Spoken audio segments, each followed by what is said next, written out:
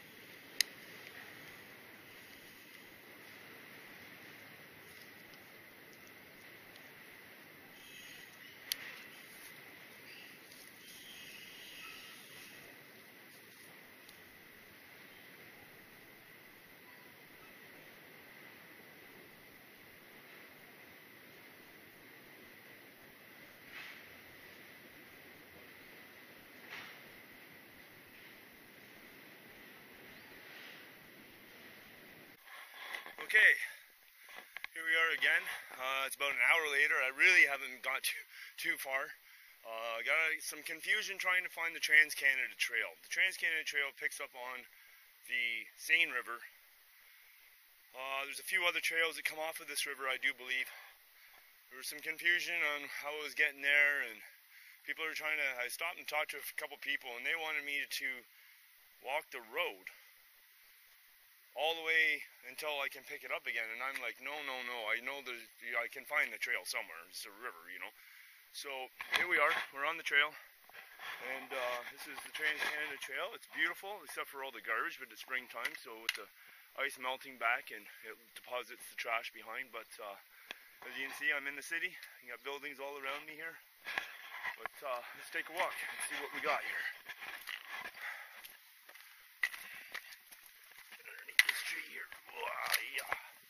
Okay, away we go again.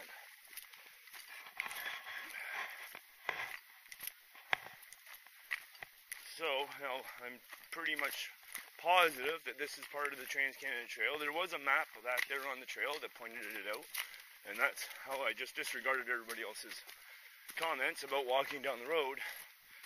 Uh, I'm not going to break in boots by walking down a road. I'm not going to get the pack settled on my back the way I want it to by walking down the road. This is ups and downs. This is what I'm looking for. This is the whole purpose of today, is to get out, get sweaty, and uh, get myself physically prepared, but also mentally prepared. Uh, the thing about it's so I've been called leather tramp for a long time. I, I hitchhike all over the place so that I can backpack all over the place. This is the first year that I'm actually putting it on film. I'm probably not very good at it, but as the time goes by, I'm sure I will learn some improvement there too. Uh, all these logs here, they're from the ice pushing up, which is kind of neat. I like that about the Red River, Seine River, Assiniboine River. Um, there's other rivers here too, obviously, but so uh, yeah. So I got my my name Leather Tramp a long time ago. I added the expeditions because this year I'm planning on hitchhiking to four different provinces in Canada, as well as two territories. And I plan on backpacking in six national parks in Canada. And I think my opening trip is going to be here in Manitoba. It's going to be walking the Mantario Trail, which I believe is only a four day stint. Um, it will be my shortest trip. Oh, scared the little squirrel there. It'll be my shortest trip of what I'm doing all year, and I expect to be gone probably at least six months uh, by the time I get everything said and done. Watch I don't twist an ankle, kill myself on my on my breakout my shakedown trip here. So yeah, anyways, we're uh, gonna put this camera away here for a little bit, and uh, when I see something else that's interesting, I'll pop you back on. Okay, well a little bit further down the trail here, it's uh, it's really pretty walking around here. A um, couple things to note that uh, the water that you're looking at here in my camera is uh, a little, let's say, on the brown side. Uh, I haven't seen a river in Manitoba it's not on the brown side. Um, but that was where that's that's where I'm going to be getting my drinking water from. So we are going to be putting the water filter to the test, and I'll we'll get on video with uh, with the water filter and pumping that up. But uh, the thing, the reason why I came back on is because obviously you can see the trail. Um, this trail's been here obviously for a long time. Uh, but I haven't found one posting for the Trans-Canada Trail yet. There's not one trailblaze. There's not one significant marker of any sort that says that this is a Trans-Canada Trail. Now, maybe I'm not on the Trans-Canada Trail. I'm quite sure that I am. So whoever takes care of this part of the TCT, come on guys, get out here, throw some blazes up, let people know, let's be proud of the fact that we're backpacking, hiking on the Trans-Canada Trail. This is Canada's longest, most prominent trail. And I don't find one marker anywhere. Shame. Okay, I'm in the city. I'm walking down city street here. The Trans-Canada Trail was beautiful. Following it along, I'm seeing all the deer sign, the hoof marks in the mud, the scat come around the corner, bend in the river, and the river, or the trail just ends.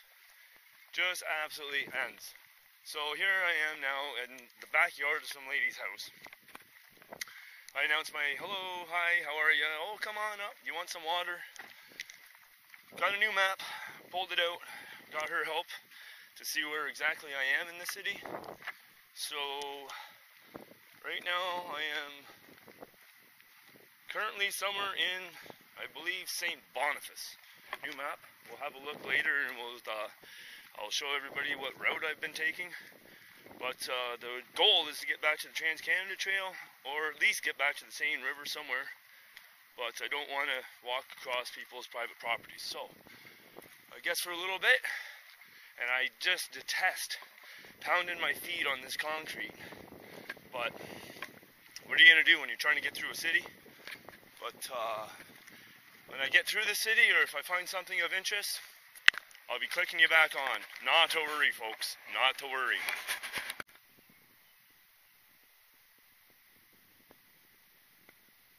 There we got deer.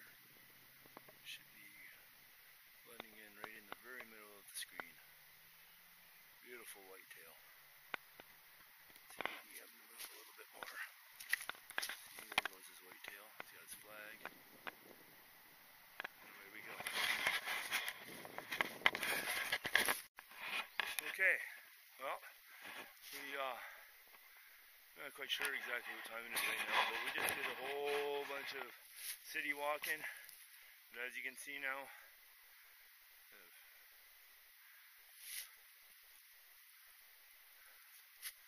and I believe I found a little bit of a trail. Not too sure. Let's follow along and see how we make out. So nice to get the feet off the asphalt. So nice. Alright, I'm not sure exactly where I'm going here. I think this is gonna cost me a lot of time instead of just straight walking. But yeah, uh, we gotta figure this out here.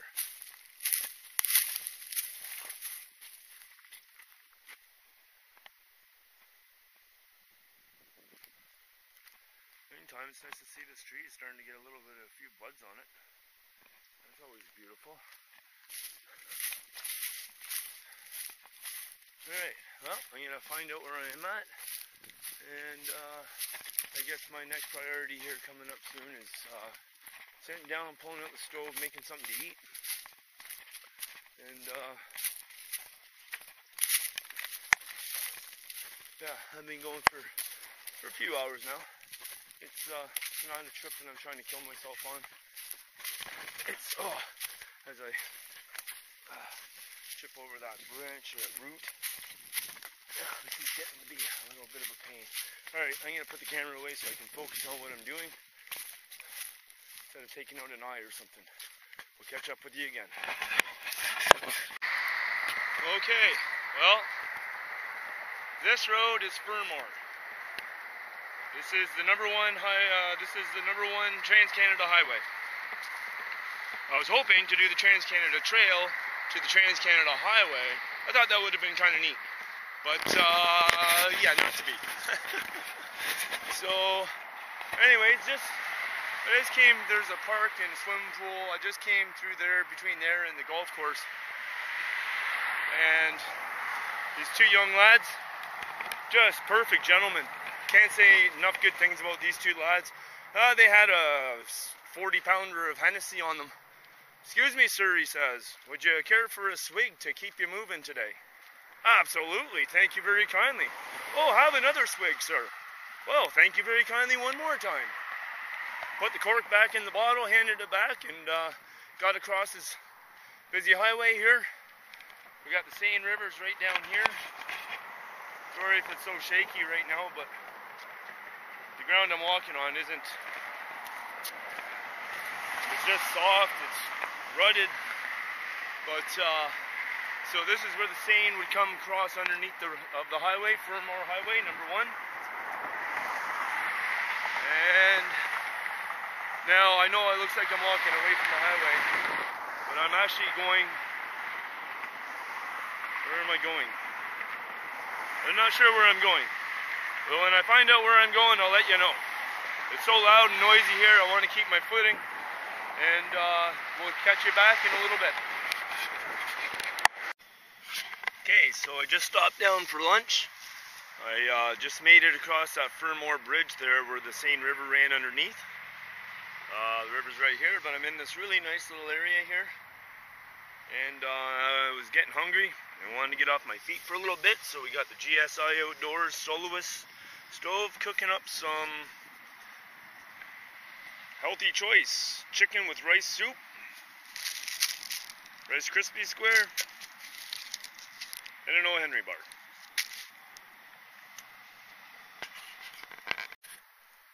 Okay, well, that road, if you can see that road up there, that's Bishop Grandin.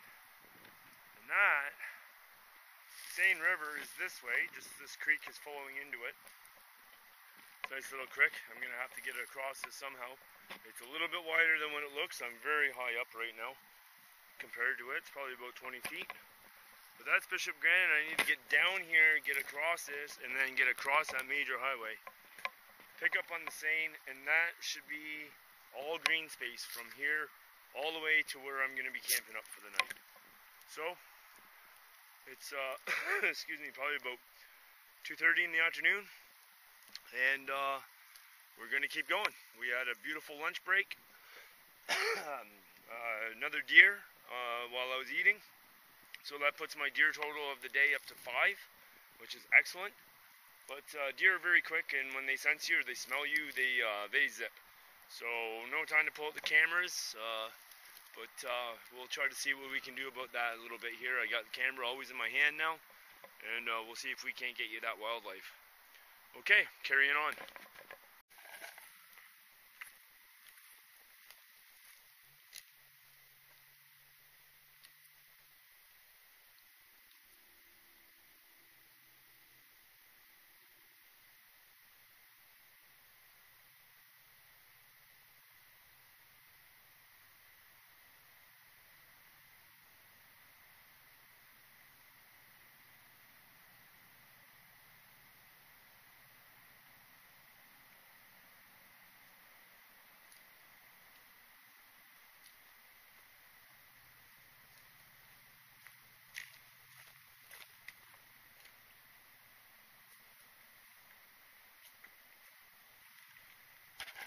Okay, so here we are, back on the river trail. We found the Seine River. We just got over that Bishop Grandin over there.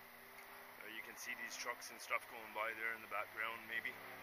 Uh, looks like a beautiful path. So, let's have a walk.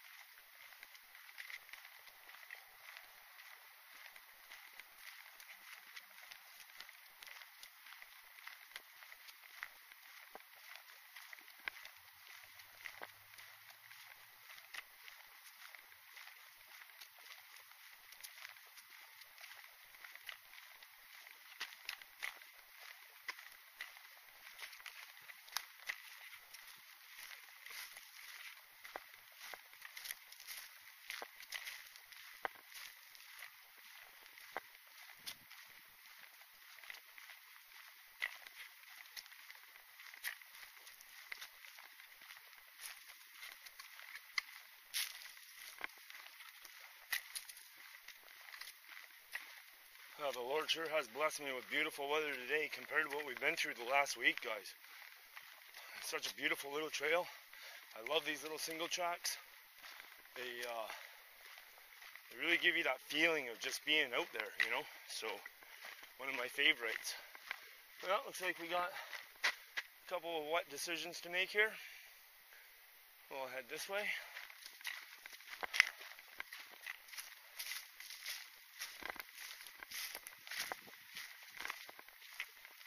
Not too bad. Yeah, it's just uh, when this place gets treed in, I'll bet you it's just right pretty. And see now here how the narrow the Seine River starts to get. When the water level drops in the summertime, there's some places of this river, there's a loon over there. Oh no, that's just a goose. Oh, a mallard. I'm sorry, I'm not wearing my uh, eyeglasses right now. Um, but you can imagine in the summertime how narrow this river would get when the water level really drops. I mean, a 17 foot canoe, I don't even think would even be able to fit in here. Well, that's why we get out and enjoy it while we can, right? Okay, let's travel on. Get back to.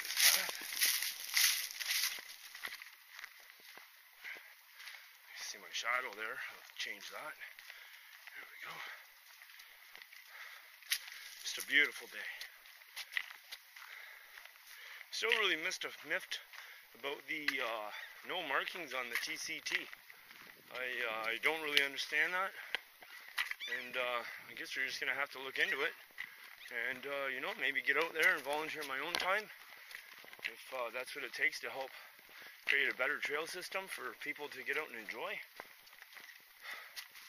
The Canada, the Trans Canada Trail, if I can spit it out here, uh, is something that I would really love to do, but it would only be as a section hike because I don't know. It would take it would take over a month just to clear a province, maybe two months per province. So uh, I know that here in Manitoba, the trail goes north, it goes south, as well as east and west. So every time you think that you're making a little progress to the east or the west, you're either heading north or south for quite a distance. So, uh, but would love to section hike it.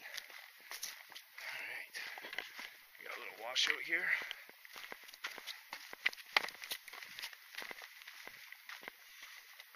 You know, and there's another thing here I'll bring to mention. This is a good workout, guys. It's uh, river walking is up and down, and up and down, the whole trail. And uh, that's something that I just really, really love myself. So, uh, another little makeshift bridge here.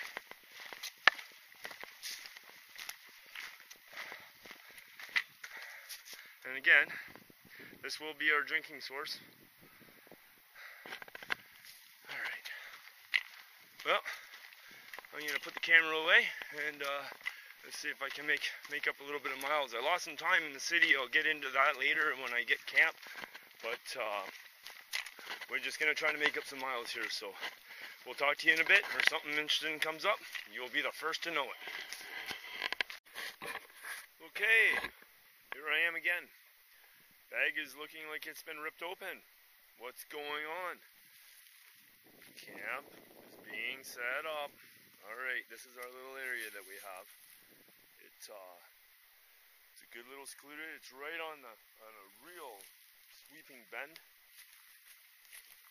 We got some mallards here in the creek, so I'm gonna talk a little quieter, move a little slower. Oh, see, there he is. You can see that, I'm not sure.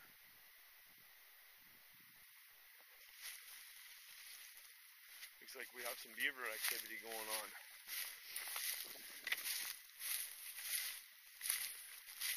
Out. I don't know if that's beaver. That certainly does look like beaver, doesn't it? Hmm. Will be the tree I'll probably get my water off of. I'm going to do that right away. We'll take you over.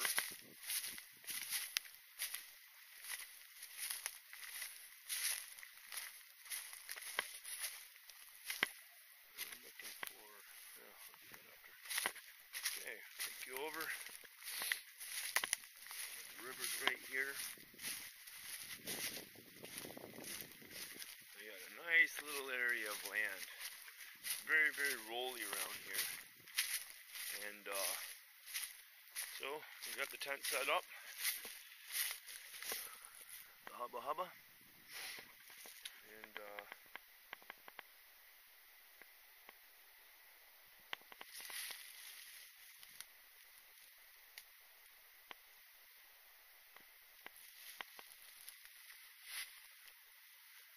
bag is over there.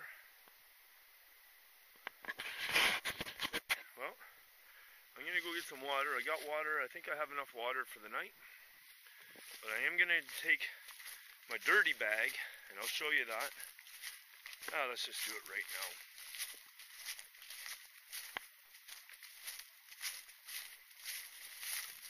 We get the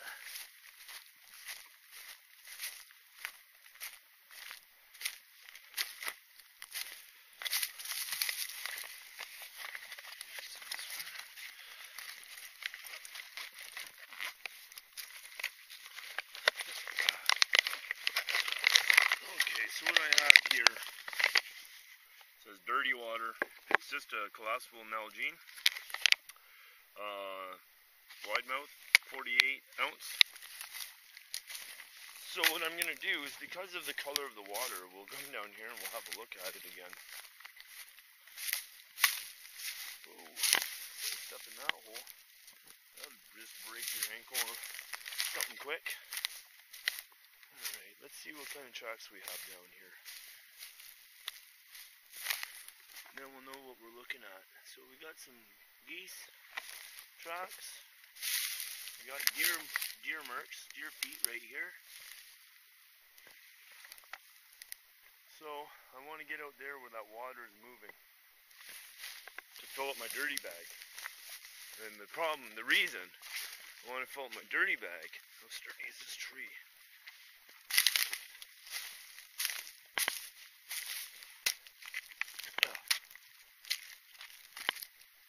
Oops. Now, what I think I'm going to do is I'm going to leave you up here.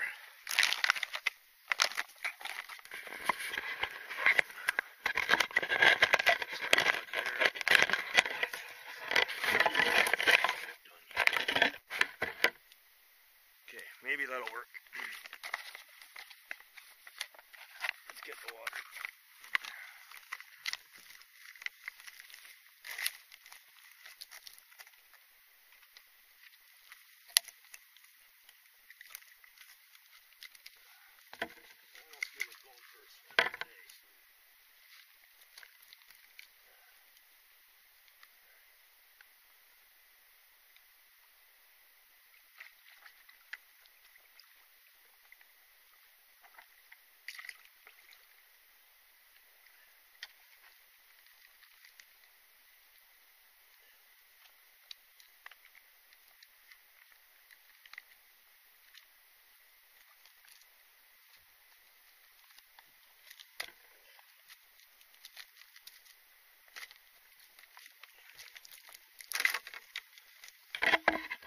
Successful. All right. So you can see the water doesn't look too too bad. But I use this dirty water bag uh, in a case like this. Uh, it just makes it easier instead of precariously balancing on a on a the log dangling in the river. Uh, it's nice that you can see that water swirling there. I hope you can see that water swirling there anyways. Um, and just put my filter into the top of the bag. And as I pump it into the clean bottle it's just a lot lot easier for me you know? So we always try to do and you know I'm out here all by myself. So um, there's nobody around. I mean if I was to have something happen Jimmy um, there's nobody here. So I don't like taking unnecessary risks. Uh, but uh, so there's a good example of not taking unnecessary risk. Just get it done and get it over with. So, okay. This water, I'm hoping with any sediment that will be in it come morning will have settled to the bottom. I'll put my filter in. It saves your filter. It makes your, it allows your filter to last a lot longer. Um, by the look of the animals around here, I'm going to be hanging my food tonight. Uh, mostly just for the small critters, like uh, maybe raccoons, uh, mice, moles, voles, whatever you want to call those little guys.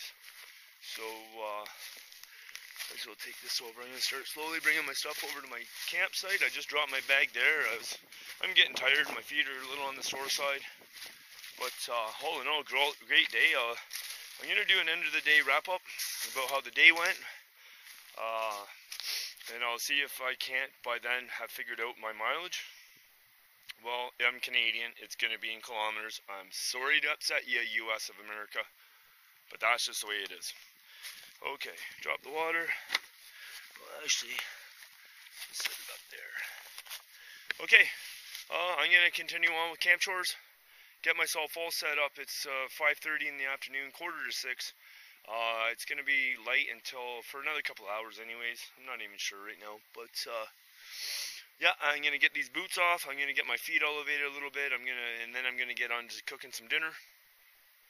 Uh, and I'll get back with you then.